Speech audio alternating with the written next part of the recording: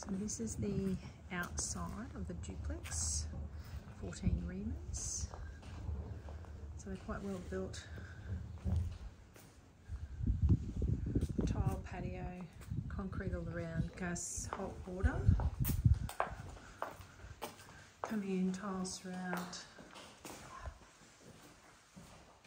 Kitchen. It's the front entrance. Do have a double lock-up garage as well as the laundry being in the garage. Quite a spacious living area, kitchen, gas cooktop, plus you also have the gas hot water. There are three bedrooms, two bathrooms, double lock-up garage. This has a dining area as well coming through to main bedroom.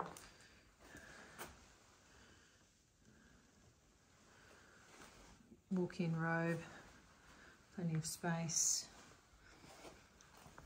ensuite, toilet. We'll come through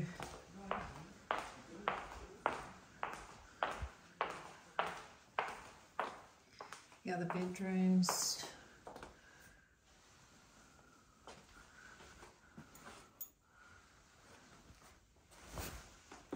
Separate toilet, main bathroom, shower, bath, vanity.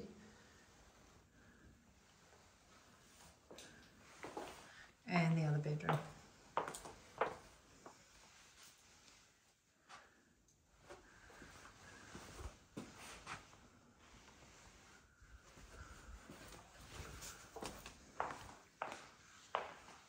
As you can see, the outside though is always like grass is always well maintained. I actually do have a gardening company that comes and does the grass.